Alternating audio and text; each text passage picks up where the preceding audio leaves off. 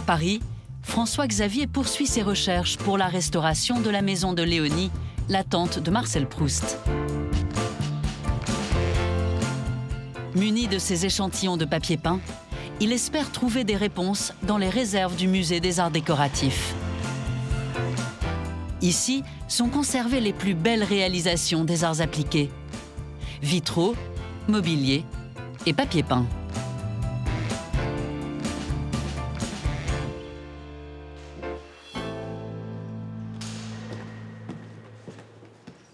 Je viens pour essayer de confirmer les dates de documents que j'ai pu euh, trouver dans la maison. Il y a une grande attente euh, scientifique, personnelle, euh, de, de retrouver ces décors et de redonner à la maison de Léonie l'atmosphère que le petit Marcel a connue.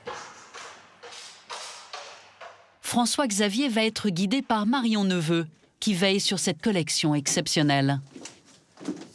Oh là là, il y a- il y a, celui-là, ça c'est tellement. Je peux le prendre celui-ci là? Ah, Ça c'est tellement. Ces chefs-d'œuvre de papier témoignent du savoir-faire des plus grandes manufactures françaises. C'est pas du piratage, c'est juste de l'inspiration. Je me fais ma culture générale ici, euh, culture du papier peint comme je l'ai fait depuis euh, 20 ans. euh. Voilà. Ici, c'est la plus grande collection de papier peint en France et peut-être même au monde, qui est estimée à environ 400 000 pièces. C'est fou. C'est vraiment énorme. Ça, on peut voir, je vais juste me faufiler. L'artisan d'art sait plus que quiconque reconnaître ce génie à sa juste valeur. Le détail, c'est incroyable. Quand on regarde ça, c'est des vrais tableaux. euh, ça, le, le- là, le, le- le visage, tout cet ensemble-là. Celui-là, avec ses grandes plumes, là. Ça, c'est euh, un travail d'une finesse euh, incroyable. Bon, allez, on y va, Marion, c'est parti. Trêve de rêverie, il faut revenir à Marcel Proust. Je vous laisse prendre. euh, Parmi des centaines de milliers de références, Marion a déjà trouvé une correspondance avec les papiers de Léonie. La bonne nouvelle, François Xavier, c'est qu'on a réussi à identifier précisément l'un des papiers qui est en place euh, dans la maison de Tante Léonie. C'est le papier en faux cuir qui se trouve dans la salle à manger. Ah bah oui, oh là là. Mais c'est carrément exactement le même. C'est pas juste approchant, là, c'est vraiment... C'est vraiment le même euh, motif. Et là, on est en, en 1800... euh, 70. Oh là là. Ce papier, c'est justement celui que François Xavier a laissé au mur, car il avait un doute sur son époque.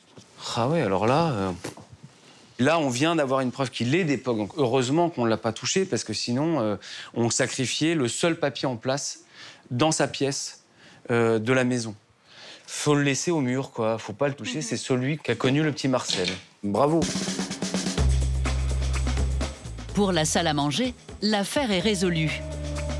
Mais pour les autres pièces, les deux experts doivent poursuivre leurs investigations. Ouais, c'est très sophistiqué, ça. Oui, c'est trop. euh, Ouais, ouais. Ils ne vont négliger aucune piste.